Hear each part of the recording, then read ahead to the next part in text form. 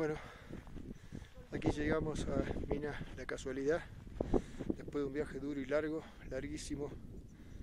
caminando, es muy grande, es como un pueblo, muchas casas, muchas instalaciones, cancha de fútbol, iglesia y muchas maquinarias y todo en ruinas mucha sal, mucho azufre por el piso, muchos restos de maquinarias. Y esta es la parte principal, donde están las,